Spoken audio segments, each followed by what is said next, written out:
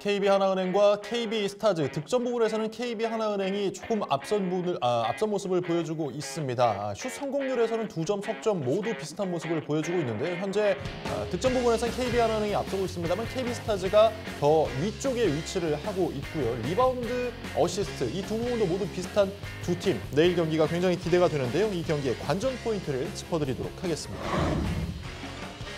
본격적인 순위 싸움이 시작된 후반기 KB스타즈와 KB하나은행이 11일 청주체육관에서 맞대결을 펼칩니다.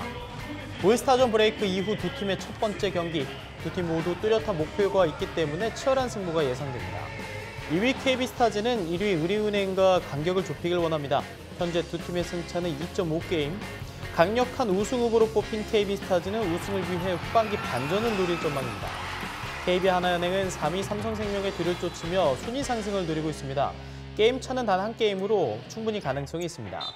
목표를 이루기 위해선 약점을 보완해야 합니다.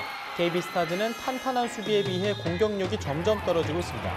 심성영, 염유나, 강하정의 공격이 흔들리면서 3라운드부터 평균 득점과 3점슛 성공률이 눈에 띄게 줄었습니다. KB 하나은행은 높이 싸움에서 문제가 큽니다. 국내 빅맨의 부재 탓에 골밑 대결에서 불리합니다. 이는 제공권 싸움 문제로 이어져 공격 리바운드를 내주고 허용하는 득점도 많은 편인데요. KB스타즈는 4연승, KB하나은행은 2연승으로 전반기를 마쳤습니다.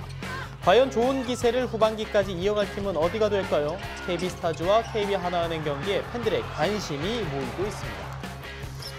저희 KB스타즈와 KB 하나은행 중계 예고해드리도록 하겠습니다. 1월 11일 금요일 내일이죠. 오후 6시 50분부터 스포티비 2를 통해서 방송될 예정입니다. 여러분의 많은 관심과 시청을 부탁드리도록 하겠습니다.